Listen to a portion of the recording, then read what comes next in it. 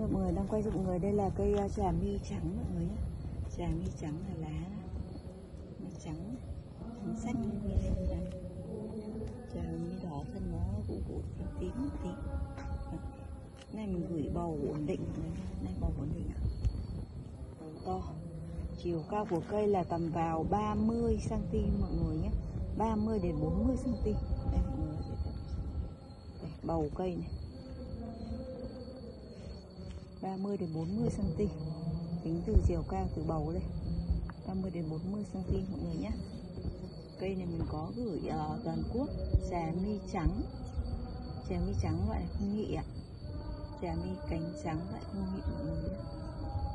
Ngoài ra mọi người có thể mua các loại cây khác bên um, shop mình nha. Mọi người cứ vào cái phần bấm theo dõi là nó ra tất cả những loại cây mình đang bán ngày trời mưa thì mình cũng có thời gian tranh thủ là quay cho mọi người xem nha. Rất nhiều loại cây cho mọi người nhé. Chưa làm cỏ được. Đây là cây ờ, hoa móng rồng hoa móng rồng này bầu cũng ổn định, mọi người. Bầu ổn định.